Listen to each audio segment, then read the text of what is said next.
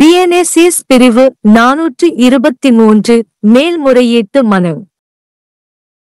ஒவ்வொரு முறையீடும் மேல்முறையீடு செய்பவர் அல்லது அவரது வழக்கறிஞரால் எழுத்துப்பூர்வமாக சமர்ப்பிக்கப்பட்ட ஒரு மனுவின் வடிவத்தில் செய்யப்பட வேண்டும். மேலும் அத்தகைய ஒவ்வொரு மனுவும் அது சமர்ப்பிக்கப்பட்ட நீதிமன்றம் வேறுவிதமாக வழிநடத்தும் வரை தீர்ப்பு அல்லது மேல்முறையீடு செய்யப்பட்ட உத்தரவின் நகலுடன் இணைக்கப்படும். बीएनएसएस धारा 423 अपील की याचिका।